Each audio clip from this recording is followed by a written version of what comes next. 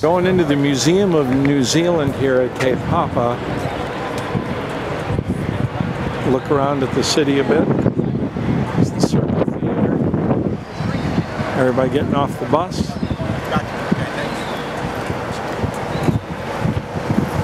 So we're at the museum here in New Zealand, walking on a little walkway. You can see all the people out there with their boats sailing today. Still doing the museum, but we came outside here for a second. See how these guys ramming into each other.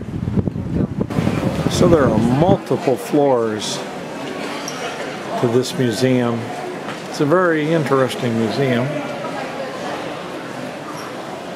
As museums go. A little cannon here to represent the guarding of the harbor. We're going up to the Polynesian area next. This is a boat, a Maori boat. It's very long and narrow. Very neat.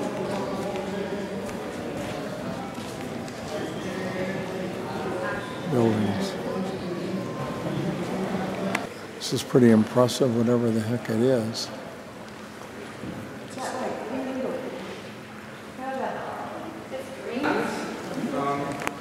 facing ground.